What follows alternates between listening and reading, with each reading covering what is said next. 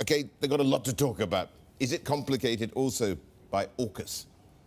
Uh, AUKUS is uh, definitely complicated things in, in the sense, I mean, not for the Quad. The Quad is, uh, you know, the U.S., Australia, India, and uh, Japan. But we've heard uh, Suga in the interview mention France, uh, specifically saying Japan wanted to work with France as well. And we heard that from Modi as well. So, you know, these partners are all trying to ensure France that, yes, you have a place in the Indo-Pacific as well.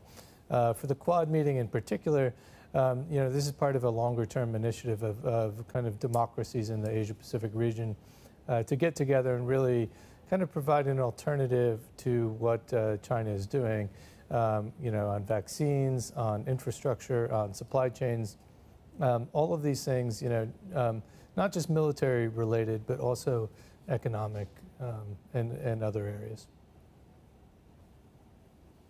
Uh, Dan, even as he talks about Suga, talks about, uh, you know, building its uh, relationship with the Quad, he acknowledged Japan need to continue to talk with China.